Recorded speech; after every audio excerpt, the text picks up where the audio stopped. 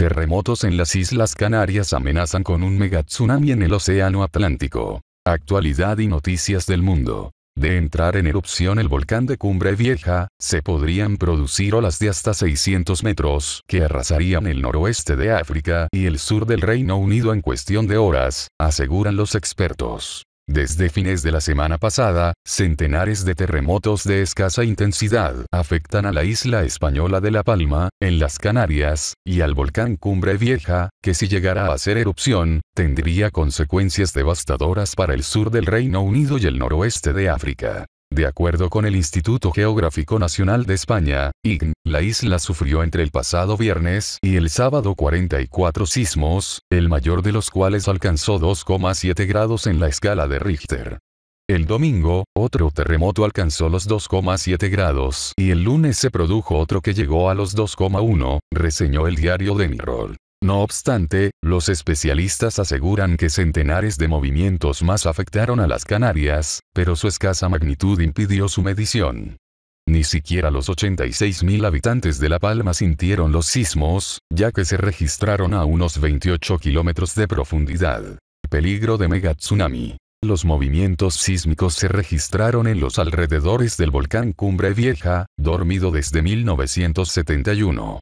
Sin embargo, si los terremotos derivaran en una erupción, esta podría tener graves consecuencias. Según expertos de la Universidad de California y del University College de Londres, la fuerte actividad del volcán podría repercutir en el Océano Atlántico y provocar un megatsunami con gigantescas olas de hasta 600 metros de altura que avanzarían a gran velocidad rumbo al noroeste africano y al sur del Reino Unido, que quedarían sumergidos en cuestión de horas. Tratando de disminuir los temores, David Calvo, de Involcan, el Instituto Volcanológico de Canarias, aclaró que no hay nada de qué preocuparse, ya que el enjambre de temblores es algo que ocurre en los volcanes activos y La Palma es el sistema más activo de las Canarias. No obstante, reconoció que lo sucedido es una especie de llamada de atención para realizar más estudios.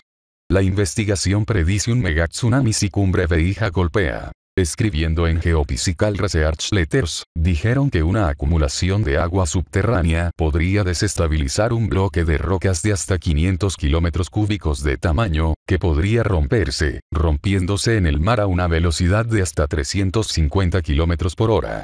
Un modelo producido por DRSD y Ward predice que después de un deslizamiento de tierra, el tsunami viajaría una distancia de casi 250 kilómetros en solo 10 minutos y llegaría al Caribe y Florida en 8 o 9 horas. Si el volcán entrara en erupción, podría causar el deslizamiento de tierra, lo que desencadenará una pared de agua mortal, inicialmente de casi 600 metros de alto y varios kilómetros de ancho, viajando a velocidades de hasta 800 kilómetros por hora. El Instituto Vulcanológico de Canarias mantiene una estrecha vigilancia sobre la actividad volcánica de La Palma a la luz del enjambre sísmico.